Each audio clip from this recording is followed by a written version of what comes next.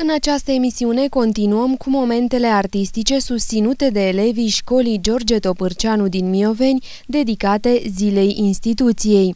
Moment care a coincis cu încheierea anului școlar 2013-2014. E prea dor de bunicii mei, așa că la revedere!